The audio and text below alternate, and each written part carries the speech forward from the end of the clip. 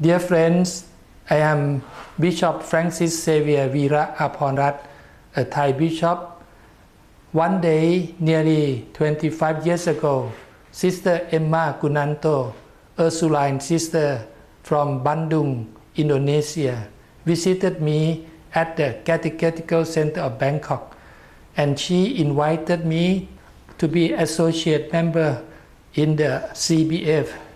And little by little, when I attend the meeting, I know that there are our Catholic uh, members who love the Bible and work for the Bible, especially in Southeast Asia and our Catholic world.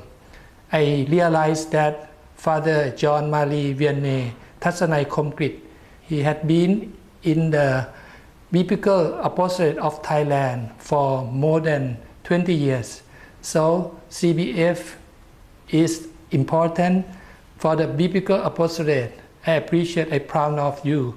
And I would like to put myself, do my best for the word of the Lord, access to other people, especially in Thailand. Thanks be to God.